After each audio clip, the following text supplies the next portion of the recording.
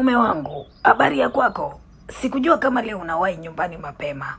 Unajua ningewahi nije nikupetipeti, lakini nilikaa hapa nikaboreka, nikaamua nitoke niende huko, japo nikakutane na watu. Unajua mume wangu, hapa nyumbani nimekuwa kama mkiwa, yaani kuna wakati mwingine nikikaa hapa najiona kama kuna kitu nimepungukiwa. Kwa hiyo nilienda kutembea tembea huko, nilipigiwa simu na wenzangu, nikasema ah, nawezaje kuacha kuwasikiliza wenzangu? Ndipo nilipotoka nikaenda. Vipi hali yako? Hilda, ukatoka ukaenda tokea asubuhi, tokea asubuhi eh?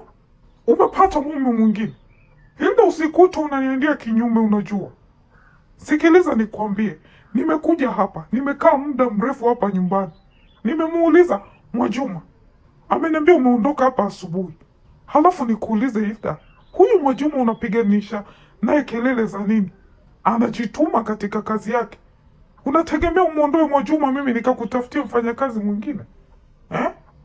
Eti Hilda, una matatizo gani wewe mwanamke? Hapo hapo umekuja nilipokuwa napataka. Nikuulize wewe na hichi kisichana, mna mna nini ambacho kinaendelea?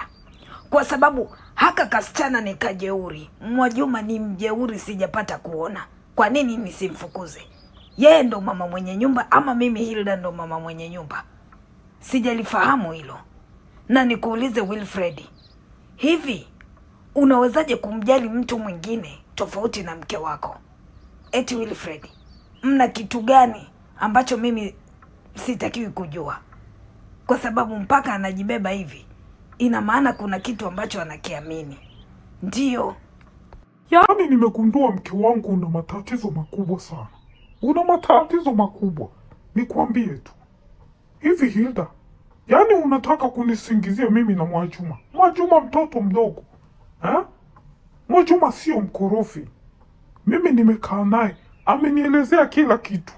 Mke wangu, hebu punguza hiyo jeuri tafadhali sana. Hiyo jeuri ambayo unayowaonyesha watu haitokusaidia wala kukufikisha popote.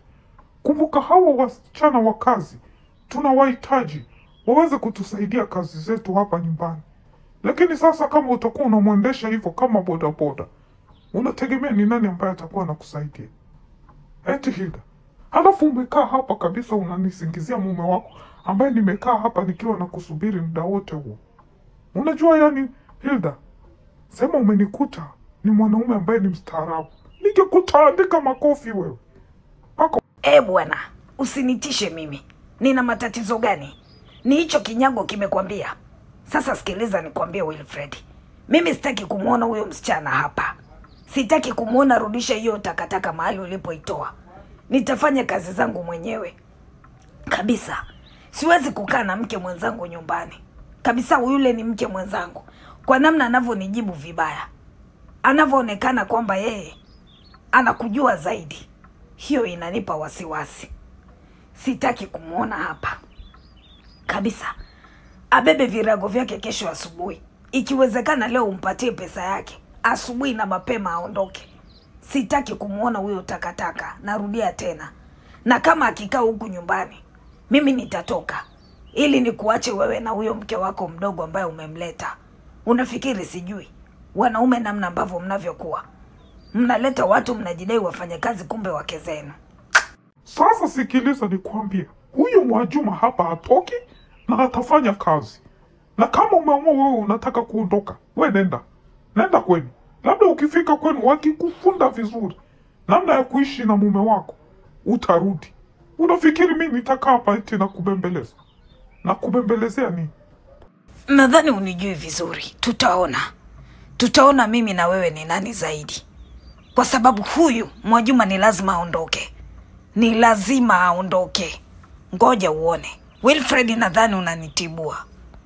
Mke wangu, sasa hivi kidogo mambo yanaenda vizuri. Kiukweli ni jambo la kumshukuru Mwenyezi Mungu, lakini hatuwezi kukaa tu hivi, ni lazima tufanye kitu.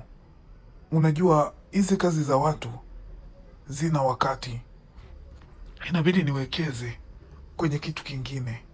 Kwa huu mshahara ambao ninaopata sasa hivi, naona tufungue kitu ambacho kitatuwezesha sisi kuweza kupata chochote. Mke wangu, unajua unapopata pesa sana, tukumbuke pia ipo siku na kukosa. Kwa hiyo kabla haijafika kukosa, tujipange vizuri, tuweze kuwekeza kwenye kitu, hata kama ni genge ama kiduka, kitu chochote kile. Kwa sasa hivi nina vishingi mia mbili mia tatu. Alafu mke wangu, nilikuwa nawaza pia, kwa nini tusimlipe Beti ile pesa yake? Aliyokuwa anatudai baada ya kukaa katika kile kajumba kake, kwa sababu anas, Mume wangu, nakuelewa, nakuelewa katika uwekezaji, lakini sio katika kumlipa Beti. Hapana, tusimlipe, kwa sababu Beti ingekuwa mstaarabu asingetufanyia hayo aliyotufanyia.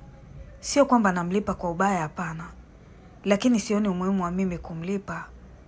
Tobias, sikiliza nikwambie, hiyo pesa ambayo tumpelekee Beti akakae atanue nayo ni bora tuwekeze katika hilo genge ambalo umesema. Mi naona genge itakuwa rahisi zaidi, hata mimi mwenyewe naweza nikashughulika vizuri zaidi, lakini hata duka pia halijakaa vibaya, pia inawezekana. Lakini mume wangu, pia mwangalie huyo bosi wako na uwe naye makini sana, usije ukakuta ana shughuli nyingine, kwa sababu inawezekanaje anakupatia pesa namna hii e. Ukweli mke wangu, mwanzoni niliogopa na nilikuwa sijui ni nini cha kufanya. Niliendelea kumchunguza taratibu, lakini nimegundua yule bosi ni mtu mzuri. Nante ni mtu mzuri, sijui kama na mambo yake mengine, lakini kwa Nante kwa kweli ni bosi mzuri. Kwanza ni bosi ambaye hana ubaguzi. Unaweza ukatoka umempeleka mahali, Nante akakukaribisha kwenye chakula kama anachokula yeye, tofauti kabisa na mabosi zangu wengine ambao nimewahi kukutana naye na Nante sio mwanaume ambaye mwenye shida, ni mwanaume ambaye mwenye pesa, ni mtu ambaye amewekeza muda mrefu. Angekuwa ana vitu labda vingine vya tofauti, ina maana tu tungekwisha jua. Mke wangu, ondoa shaka katika hilo. Niko makini kweli kweli, siwezi kujiingiza katika matatizo hata mara moja. Niamini, nikiona kuna kitu chochote ambacho sio cha kawaida, lazima nitakwambia ili tuweze kushauriana. Sawa, nimekuelewa mume wangu, nimekuelewa vizuri kabisa. Na kama umemchunguza na umeona hakuna shida yoyote katika biashara yake, basi hakuna haja ya kuendelea kumchunguza. Ni bosi wako, fanya naye Hivi we mwanamke unanitaka nini? Lakini mi niliondoka hapa asubuhi. Kwa nini umwambie Wilfred kwamba niliondoka hapa asubuhi? Una kitu gani na hii ndoa yangu? Ni nini ambacho unakitaka katika hii ndoa yangu? Kwa sababu kuna watu wengine wanaletwa kama kirusi kilichokuja kusambaa. Eti ah, ulitaka mimi na Wilfred tugombane, si ndio? Ili wewe uchukue nafasi. Kwa taarifa yako, hakuna nafasi ambayo nakupatia. Mwenda wazimu mkubwa we. Mwagombania kitu gani? Kwani hii nyumba kuna siku imetulia eh? Sasa ulitaka niseme wewe umeondoka saa ngapi? Kwani saa tano saa ngapi? Si asubuhi hiyo? Ama kusoma ujui, hata picha ulioni? Ah, na huyo mume wako jamani, mwenye kichwa kama upanga, upanga uliochomwa jikoni, unasubiri kukata ndoo ya plastiki eh? Yaani kila kitu lazima akwambie. Jamani, mume wetu hata kuficha siri ajui. Ha? Ha. Umetoka kwa miji ya naume yako huko, sasa hivi umekuja kufia kwa kibabu. Kile kibabu kinavyotoa macho utasema samaki nchanga. Ndugu yangu, nimekimwagilia moto leo hapo kilipo, yani kinakaribia kufu, kufumuka. Na unafikiri shoga yangu naondoka hapa? Siondoki. Tuko mama wenye nyumba hao wawili, kila mtu ana maamuzi yake. Haya, toka bwana, hebu toka chumbani kwangu. Naomba kesho asubuhi uondoke. Tayari nimesha kuandalia pesa yako, wende tu. Sihitaji mfanyakazi mwenye kiburi na jeuri kama wewe, na kuanzia sasa hivi uanze kupaki vitu vyako tafadhali sana. Mwe, niende wapi? Niende wapi? Ndugu yangu, kwetu kuna shida. Niende wapi?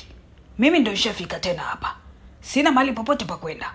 Mimi ndo nishafika. Hiyo pesa ndugu yangu, wewe nenda tu katengenezee nywele, ukitaka sijui kuweka lipostiki sijui vitu gani, lakini hapa sibanduki.